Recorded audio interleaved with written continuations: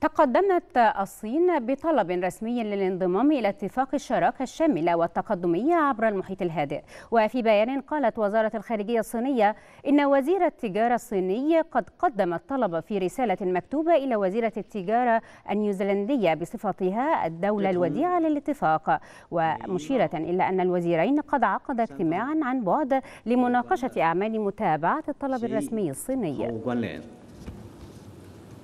我想强调的是，中国是贸易自由化、便利化的坚定倡导者，也是亚太区域合作和经济。